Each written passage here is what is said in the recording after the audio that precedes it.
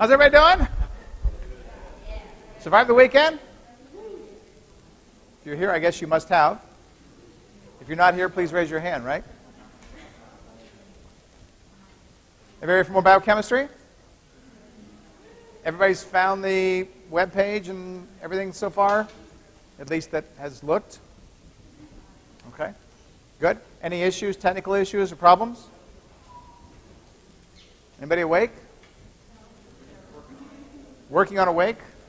This hour of the day? Well, maybe it's time to work a little harder, but I can relate to it. I tell you, I've been yawning all day myself, and I'm not quite sure why. I think it's this weird weather, and um, I actually have something about the weather for later that I'll give to you. So, um, last time I talked about the molecules, the lipids that we find uh, in membranes. Today I'm going to talk about membranes. Most of what, in fact, virtually everything I'm going to say today concerns membranes. If I get far enough, I will talk um, later in the hour about the vitamins. Okay.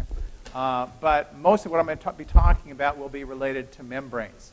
So as I alluded to last time, membranes are very um, essential. Without a membrane, we don't have a boundary between what is a cell and what is not a cell. So it's important that we have that boundary. And that boundary, as I said last time, um, is um, very interesting one. It's very good in that it allows certain things to pass through it without any problem. Um, and the, the primary ones there being oxygen coming in and carbon dioxide going out. Okay? The other two are a bit more problematic. Carbon monoxide we'll talk about later in the term when we talk about electron transport. You may have heard a little bit of this from Dr. McFadden already, but you'll hear more about it from me later in the term. Um, but water is also a problem water is freely permeable across the membrane, meaning it can move all by itself. Now, I'm sure most of you have had the experience when you took basic biology of working with dialysis tubing and putting, say, a protein or something in there and then letting the thing start to swell. Why does it start to swell? Why, when you put protein in a tube and then you close it off and you put it into a buffer, why does the, the tube start to swell?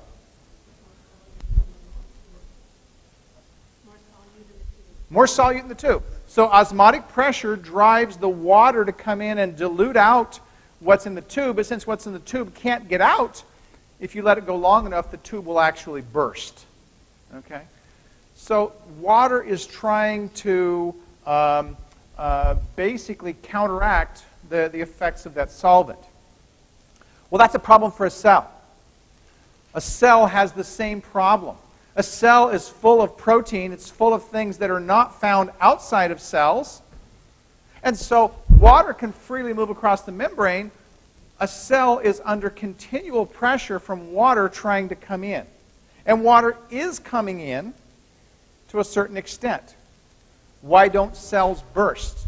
Well, we're going to talk about that a little bit later today, but the reason that they don't burst is because cells play some tricks with osmotic pressure they play some tricks with osmotic pressure. And it's one of the reasons why cells need to burn ATP constantly. They need to burn ATP constantly, and we'll see why that is the case. Okay? But before I get to that, I want to say a little bit about what you see on the screen. So, what you see on the screen are, uh, is, is a lipid bilayer. A lipid bilayer means, a bilayer, of course, means two layers. So we can think of this cell surface. Here's the cell sort of enclosed that we can see here. And we can see there's two layers, one layer here and one layer here. And those are shown in a little bit more detail up at the very top. On the inside of the bilayer, we see the hydrophobic tails of the fatty acid side chains that are uh, interacting with each other because, again, the hydrophobics like to associate with each other. And on the outside, or the inside, that's where water is located. So we have water in here, or we have water out, and we have water out here. And so those polar side chains like to interact with the water, and they orient themselves as you see. This orientation will actually occur spontaneously. It doesn't take the cell constructing anything.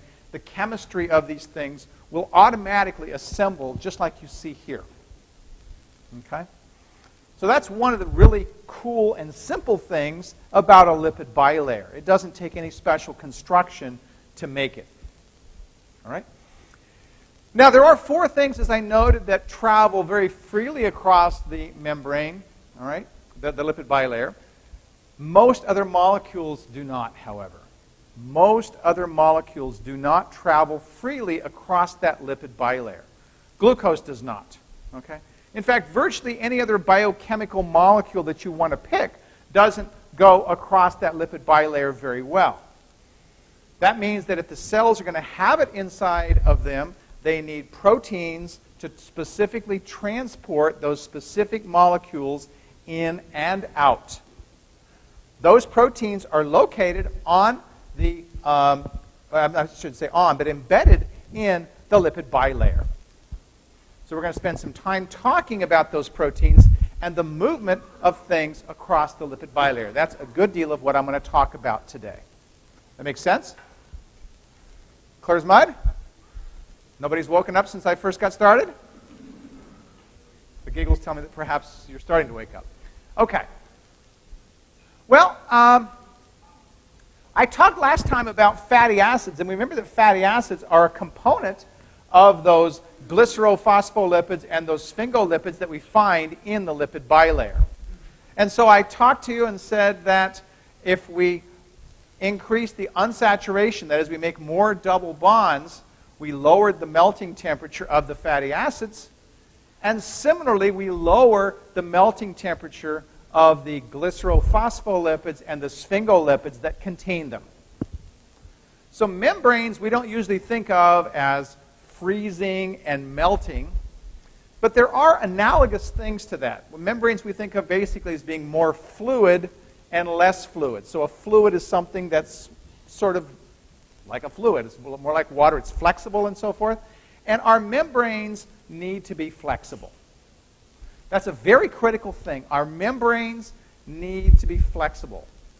If cells get to a temperature where the membranes are stiff and rigid, okay, then the cell will not function. Now, what that means, if we think about it, we think about all the cells that there are on the face of the earth, your cells are really nice, right? Your cells, you're a warm blooded animal. At least most of you are, I think. You're a warm blooded animal my wife has the coldest feet on the face of the earth. So there's times, there's times I question that, right? But, but short of that, she, I think she's a warm-blooded animal.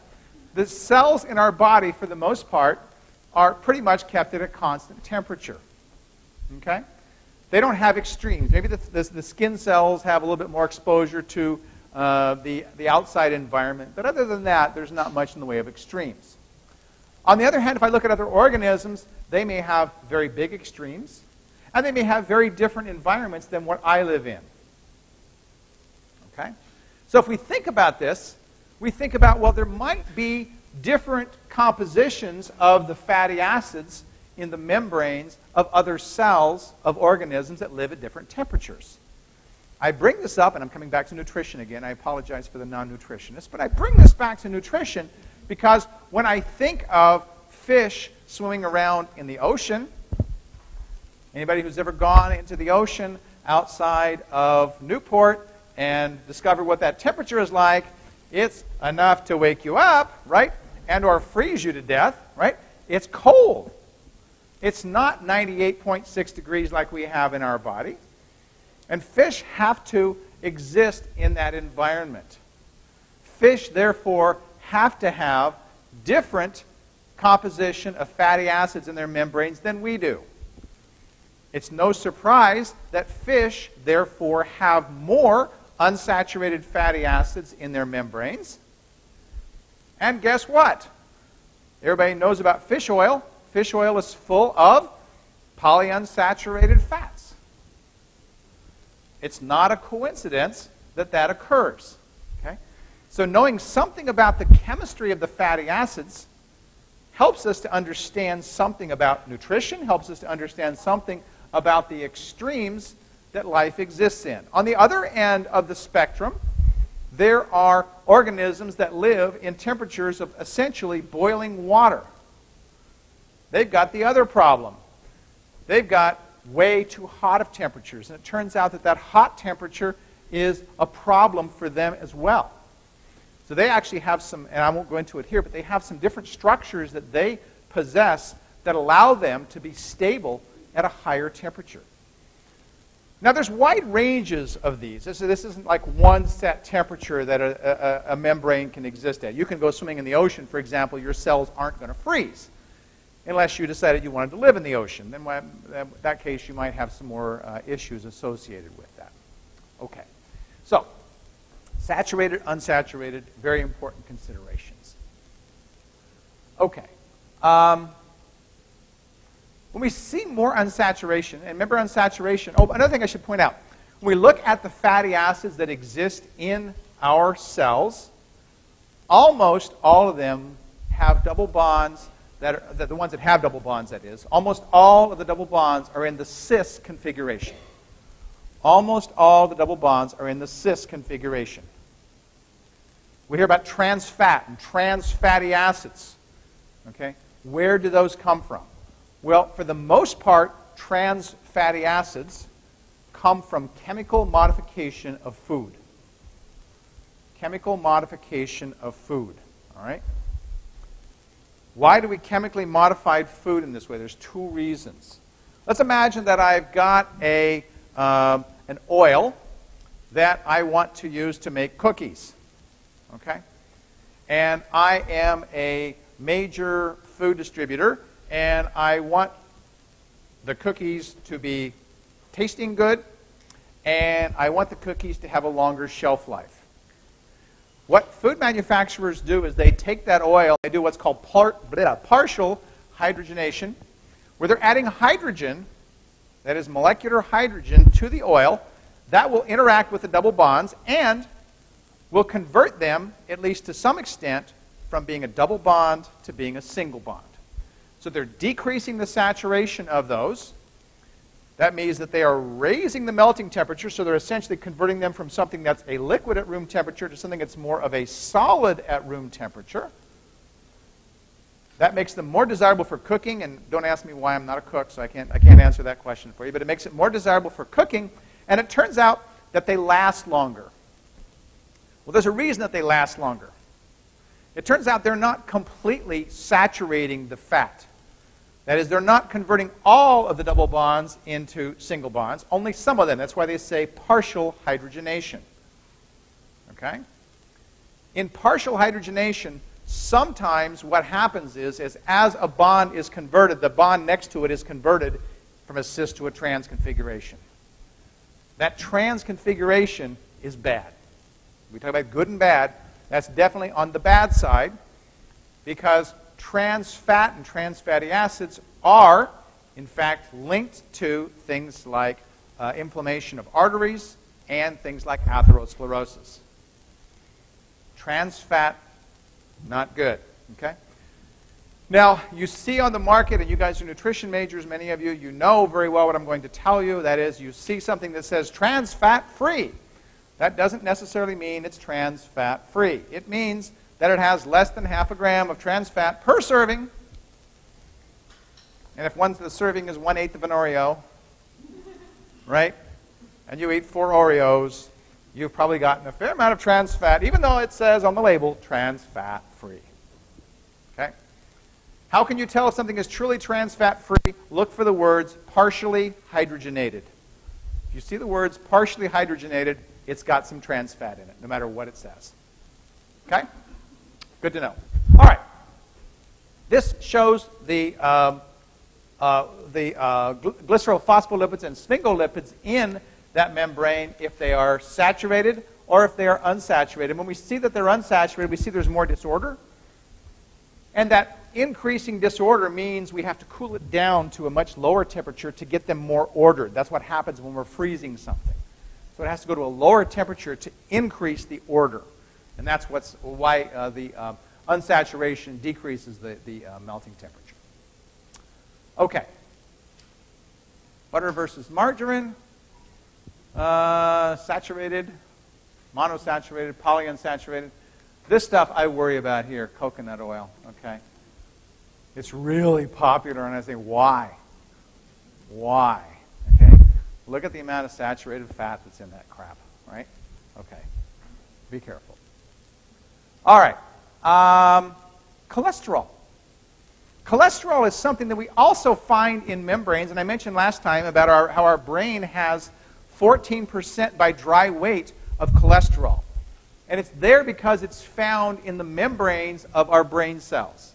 It's also found in the membranes of most cells of our body. One of the reasons our body is making cholesterol is so that it can help to stabilize membranes. Okay? Cholesterol fits into membranes very nicely. Cholesterol is a lipid. I talked about it last time. It is a lipid that is mostly nonpolar. And the only part of cholesterol that's polar is this little hydroxyl group that's at the end. So it positions itself within one section of a lipid bilayer. Remember, here's one section. The other section would be over here on the right. It positions itself kind of like this. And the effect of cholesterol is a little odd. It's a little interesting and a little odd. Okay? If we think about melting temperature, remember I said that we can think about we think about a membrane becoming less fluid and more fluid instead of frozen and liquid, right? A membrane is more is less fluid, meaning more solid-like, and more fluid, meaning more liquid-like. Okay, um, and the conversion from one form to the other, if we look at the temperature, is actually fairly narrow. Right? Well, you think, of course, it's narrow. Well, that's because you're thinking of water and ice. Water converts at, at 0 degrees centigrade or 32 degrees Fahrenheit from liquid to solid. It's right at that point. It's not wide, it's at that point where that happens. When we look at a membrane that conversion from more solid-like to less solid-like or less liquid-like to more liquid-like, whatever, whatever you want to say with that, or more fluid-like, um, that transition is over a range of temperatures. It's not one degree. Okay? And it turns out that what cholesterol does is it widens that range. So what cholesterol may be doing is changing the properties of a membrane to make them more fluid over a wider range. Okay? It may be making them more fluid over a wider range. There are, there are likely other things that cholesterol is doing inside of our membranes as well.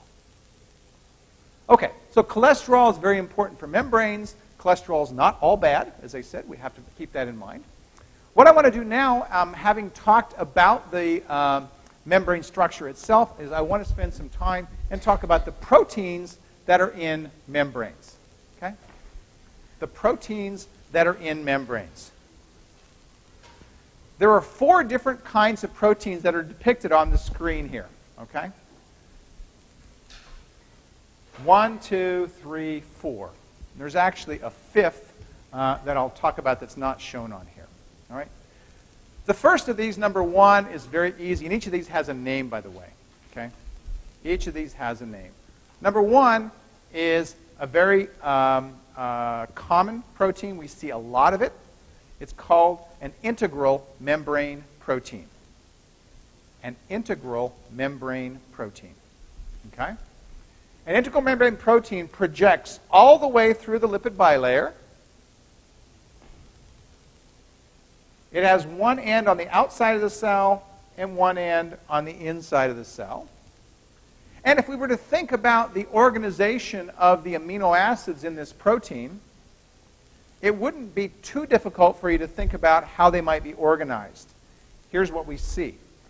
In this region of the protein right here, we see amino acids that are very hydrophobic, meaning they don't like water. And on the ends, where we see this, we have amino acids that are very hydrophilic because they're associating with water. And that's exactly what we see in, in these types of proteins. The second protein that's up there, number two, is not very common at all. Okay? And I, I show it to you just because, so you, so you know the name. It's called an embedded protein. It's completely embedded in the lipid bilayer. And you might look at this protein and say, whoa, I would expect that this guy would have completely hydrophobic amino acids, that it's interacting with the hydrophobic tails of this uh, membrane right here. Not very common at all. We won't, we, in fact, we won't encounter this protein at all. Okay? Protein number three is something we call an associated membrane protein, meaning it's not really a part of the membrane, but we see it around the membrane. So it might, for example, interact with the polar ends of the glycerophospholipids, okay? But it's not a part. It doesn't, it doesn't enter into the protein at all. An associated membrane protein, that's number three. Number four is something we call a peripheral membrane protein. Okay? Number four is a peripheral membrane protein. And a peripheral membrane protein, as you can see, sticks in half of the membrane, but it doesn't go all the way through it. This is a peripheral membrane protein. Okay? And there are numerous examples of peripheral, of associated, and of integral. Very, very few uh, embedded. Okay? Now, as I said, there's one other protein that's not shown on here, but I want to describe it to you. And that is a protein that's called anchored. An anchored membrane protein. An anchored membrane protein would look like number three, but attached to it would be a fatty acid that would have its tail sticking down into here. That's the anchor. So an anchored membrane protein, the protein part is not embedded in the membrane, but something else is, and that something else is what's anchoring it to the membrane. The something else will almost always be a fatty acid. So a protein attached to a fatty acid, the fatty acid stuck in the lipid bilayer, and that's helping to hold it to the membrane. That's what an anchored protein is. That would be the fifth one. Well, for the rest of what I'm going to talk about today, we're going to be concerned with integral membrane proteins. Because the proteins that are involved in transporting molecules across the lipid bilayer are all integral. They're all integral proteins. Gesundheit. Okay. Oh, here's the anchor. I didn't realize they had an anchor on there. So there's, this is what an anchored um, would look like. Okay, it's like this guy right over here. Here's a protein, there's its tail, and there's the fatty acid anchoring it in the lipid bilayer. I forgot to put that in there. Okay. All right. I like this figure because it depicts um, all of these different types of proteins and, and various components that I've talked about. And so now you can see them in the context of a cellular membrane. Okay? Here is an integral membrane protein. Here is a peripheral membrane protein. We don't see any embedded ones in here. Uh, but we do see um, various other things that are associated there. We see cholesterol and how cholesterol is scattered through the membrane there. We see some other molecules present as well. We see something called a glycolipid, and I'll talk about that later. We won't don't need to be worried about that too much. And we see something called an oligosaccharide. All right? So an oligosaccharide, a saccharide means sugar. An oligo means it's got a few of them. Okay? Some proteins that are embedded in membranes have this oligosaccharide attached to it. And that oligosaccharide turns out to be pretty important because that oligosaccharide that's on the surface of our cells is an identity marker. It tells the rest of the body, this is Kevin Ahern. It tells the rest of the body, this is a liver cell. It tells the rest of the body something about what's there. And if I muck with that, I may have consequences. So, for example, if I were to need a lung transplant and one of you were to donate one of your lungs to me, okay, I would have lung cells that would have your oligosaccharides on them, not my oligosaccharides on them. Okay? The difference being that my immune system, which is poised to look for foreign invaders like bacteria and a variety of things, would look at this and say, oh, invader, and attack it. So when you hear about organ transplant rejection, that happens because you've gotten an organ from somebody who doesn't have a match to your oligosaccharide component. That's an important consideration. There's various ways of dealing with that. One of the ways is to suppress the immune system so that it's less likely to attack foreign things like that. So the oligosaccharide on the surface of a protein, in this case an integral protein, is important for identity. We also, when we look at blood cells, you're a type O, you're a type A, you're a type B, or you're a type AB, AB minus, etc. These pieces of information are communicated by other oligosaccharides on your blood cells.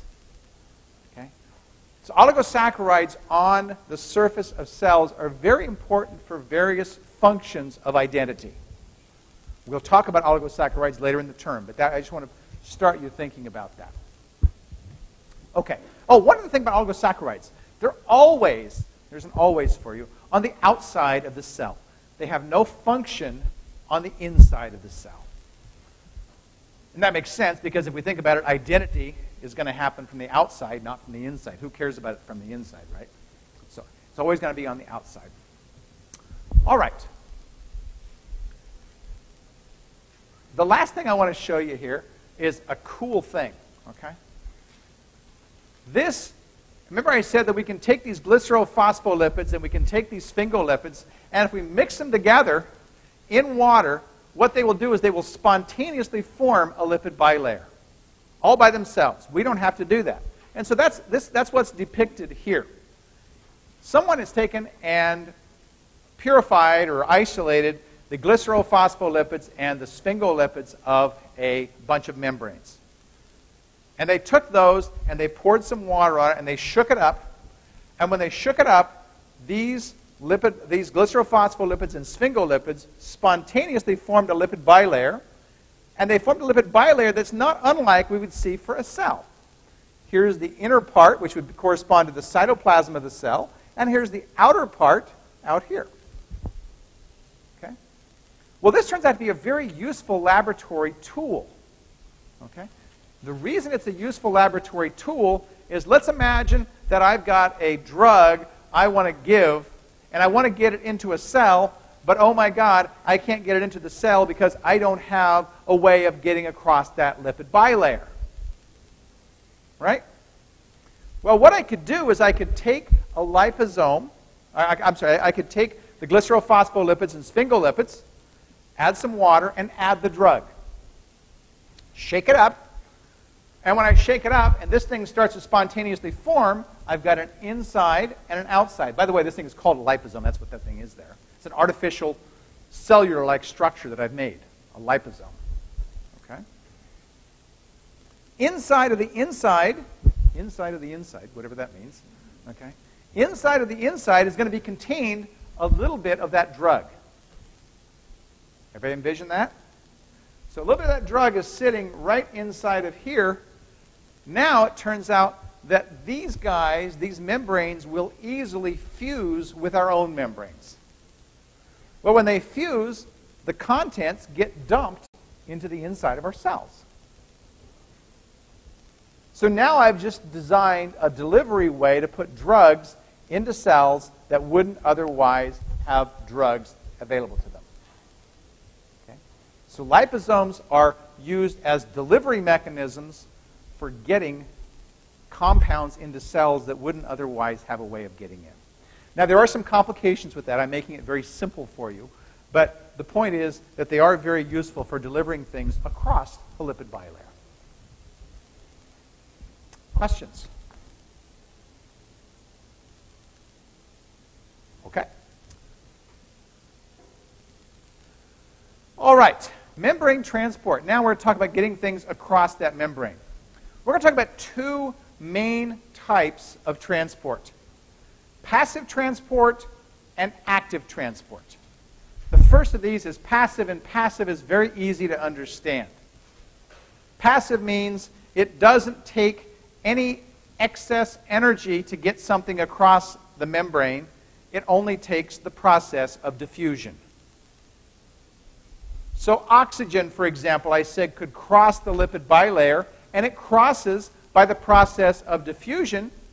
Because the concentration of oxygen is greater on the outside than it is on the inside, so oxygen naturally diffuses into the cell. Doesn't take any excess energy, doesn't take any transport, doesn't take anything. It diffuses in. Okay? So all it takes is what we call a concentration gradient, meaning it's higher concentration on the outside than it is on the inside. Now, that works out pretty well because, again, oxygen can move without needing any other proteins. If I tried to do the same thing with glucose, I could have a higher concentration on the outside than I would on the inside, but it wouldn't move because it can't cross the lipid bilayer by itself. Okay? So we have to have a way to facilitate the movement of other things across the lipid bilayer if we're using the process of diffusion. Making sense? Oxygen, yes. Glucose by itself, no. Okay? All right. Carbon, di- carbon dioxide is the opposite. Carbon dioxide is going to be made more inside of cells, so its diffusion is going to be outwards, right? Again, not taking any energy. It's just going to go on the basis of where the concentration takes it. Okay. Well, it turns out that there are, in fact, ways of diffusing glucose across a lipid bilayer, but it takes a protein to help that to happen. Our blood cells are full of proteins called GLUT, G L U T, glucose transporters. And some of those gluts are very, well, they're all very interesting, but some of those are pretty cool. One of them is simply a chamber into which only glucose will pass. Only glucose, nothing else but glucose. Other sugars won't pass, other molecules won't pass, only glucose. In our blood cells, the concentration of glucose is usually fairly low.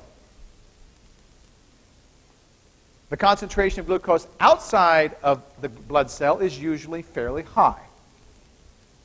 Okay? If we have a protein that allows only glucose to move, and I've got a concentration gradient where the glucose is higher outside than inside, then glucose is going to go th- through that little tunnel, that little channel, all by itself. Diffusion is going to make that happen. And this works because nothing else is allowed to go through it.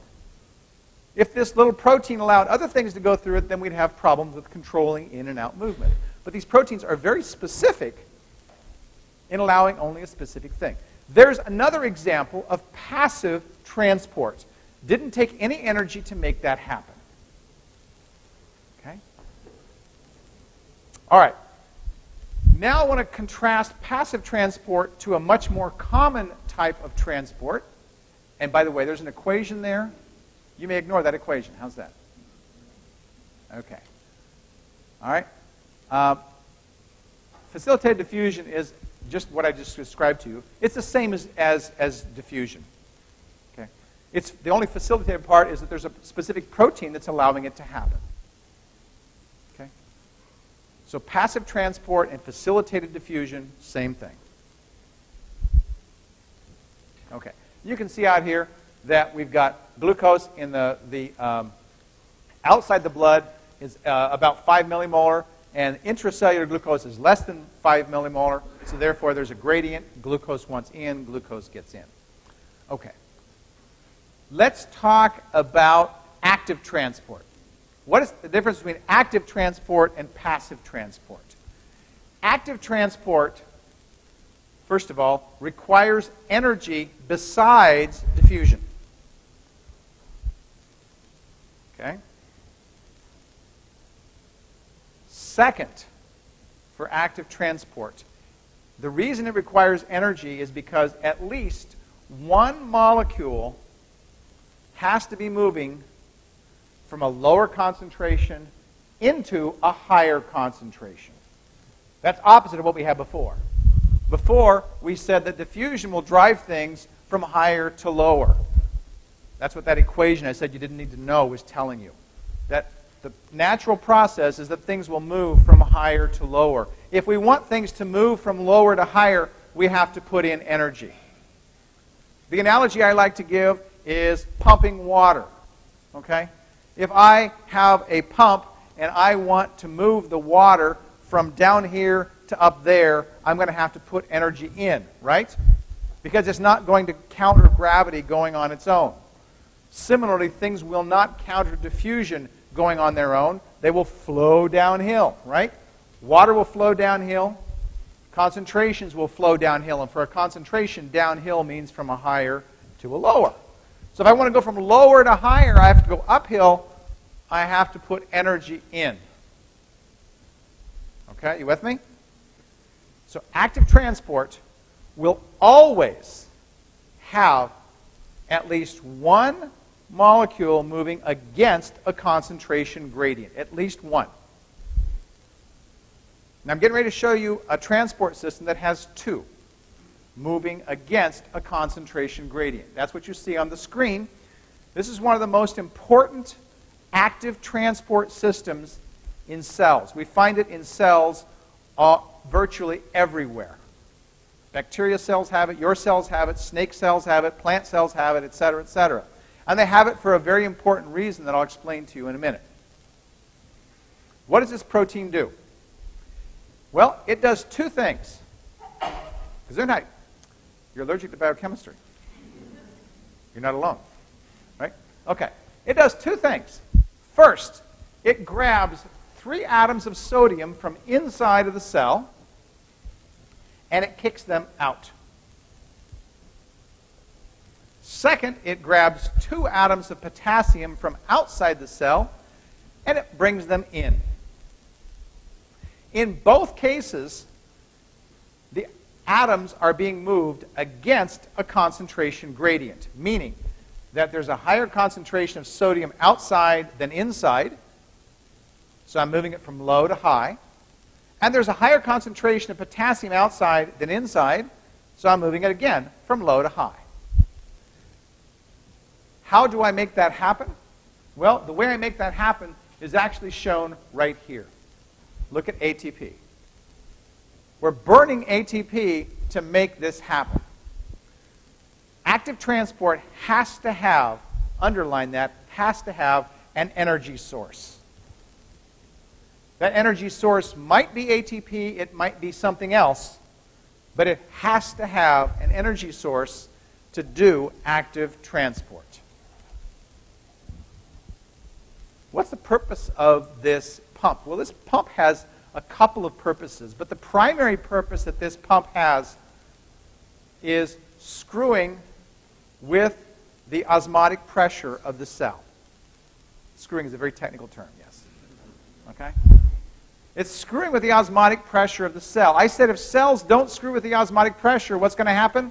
Poof, they burst. All right? By creating this artificial, unusual gradient of sodium and potassium, water is much less inclined to move across the lipid bilayer. This is a constant battle for cells. This is why they have to be almost constantly be burning energy to maintain that unusual osmotic pressure so that they don't burst from water filling them up. That's one function of this membrane, uh, of this, of this uh, active transport system. This protein has a name. It's called the sodium potassium ATPase. Sodium potassium ATPase. All right? It's called an ATPase because it's burning ATP. That's what, that's what an ATPase does. Sodium potassium ATPase. This pump turns out to have another very useful byproduct as a result of its action. Okay? Well, uh, actually, before I, before I tell you about that, let me, let me just ask if there's any questions about this. You guys aren't very questioning. Yes, back there. A very brave soul.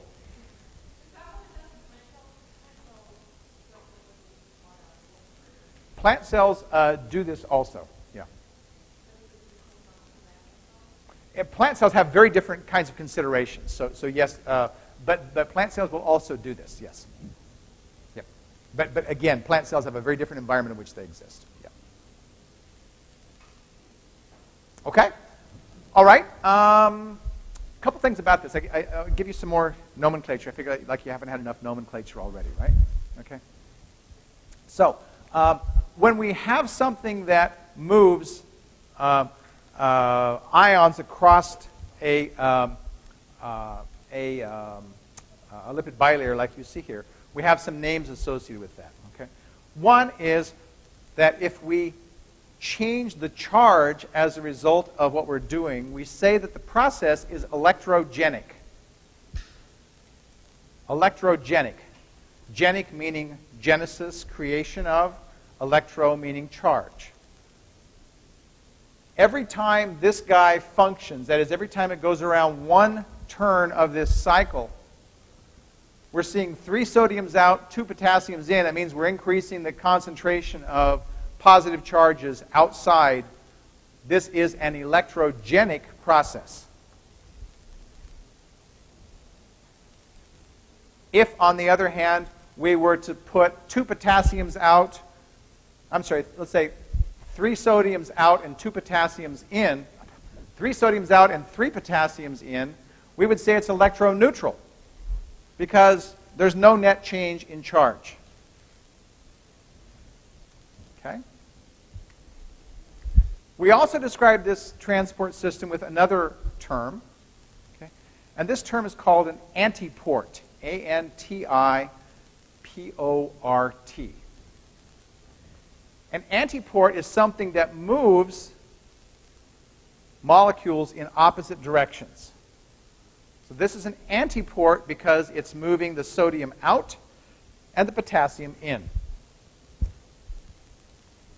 If it were moving both of them in the same direction, we would call it a symport. S Y M, as in Mike, P O R T. And some books call that synport, S Y N, as in Nancy, P O R T. They're both equivalent. Sim or synport. So symport means that both things are going the same direction. Antiport means they're going in opposite directions. Okay. So those are some terms that I think that you should know. All righty. Well, I told you that we needed to have an energy source to move things across the membrane. You've seen one energy source, and that one energy source was ATP. ATP is not the only energy source for active transport. There are other possible sources. What you see on the screen here is something that has nothing to do with ATP, but it's an active transport system. I need to explain to you what's going on with this. Okay? This is using a gradient to make something happen. The gradient itself is the energy source. Okay? What's the gradient? The gradient turns out to be these protons. As we will see, cells pump protons within themselves and in some cases outside of themselves. Bacteria in particular will pump protons outside of themselves. If they pump protons outside themselves, that means there's going to be a higher concentration of protons on the outside than there is on the inside, right? That's a gradient. High concentration of protons on the outside. Those protons want to come in. And it turns out they will come in if given the opportunity. This is a little different than the glucose transporter. The glucose, it was simply a concentration gradient. Glucose came floating in, right? We have a concentration gradient here, but protons will not come in in this transport system unless they carry with it lactose. Lactose is known as milk sugar. We'll talk about it later in the term. It's an energy source for bacteria. It's an energy source for bacteria. It turns out that lactose is higher concentration inside the cell than outside the cell, which means lactose is being moved against a concentration gradient. The cell is gorging itself on lactose. So by virtue of the fact that lactose is moving from a low concentration to a high concentration, this is an active transport system, and the energy source here is the proton gradient. Excuse me.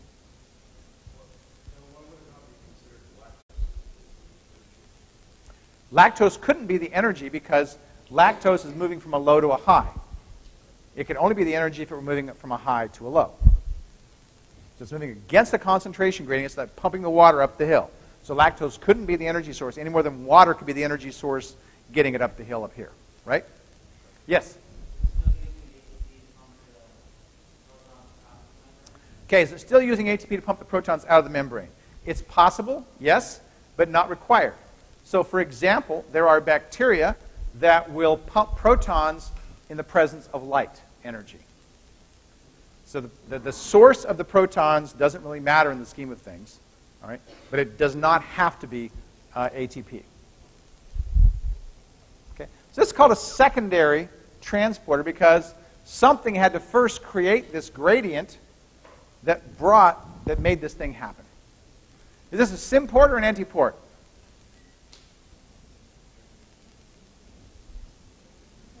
It's a symport. Good, okay? Is this an electrogenic transport or an electroneutral transport?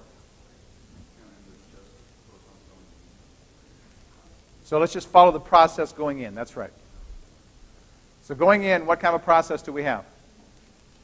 It's electrogenic because we have a positive charge and a zero charge on the lactose. Right.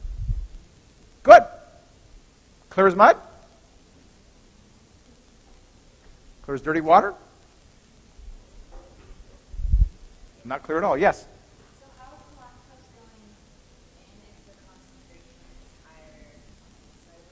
Because the concentration is higher for the, for the protons out here. The protons want in. So the energy source is the protons coming in, that gradient of the protons coming in.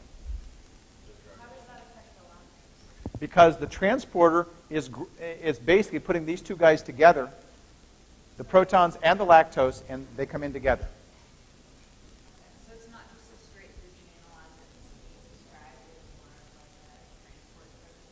as it's It's definitely a transport protein. Yeah, all these are transport proteins. But it's not just like a pore. It's not just a pore. No, it's, it's a very specific. It's a very specific system. That's right. Yeah, and it's simplified here, as you can imagine. But, but yes, but it's the, actually the, the, the higher concentration of protons that's bringing that lactose in. So imagine, if you will, that, just, just a second. So imagine, if you will, that I pumped that water up the hill, okay, and then I had some toothpicks that I wanted to get back down here. I pumped the water up the hill, the water introduction of the toothpicks, and the water flows back down and brings the toothpicks with it, right? So that's what this is. They're the toothpicks right there. And there's the water.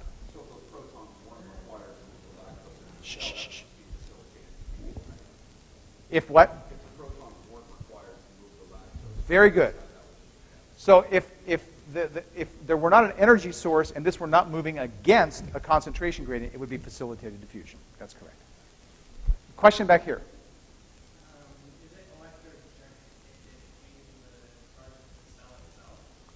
Is it electrogenic if it's changing the charge of the cell itself? Yes, that's correct, it is. Okay, I like to do a song every time, and so I don't have a song about transport proteins, all right? It's one of the few things I don't have songs about, but I do have a song about the weather that I think is appropriate. So you guys, you guys know um, the old song "Let It Snow," Christmas song. All right. Well, I've got a better one.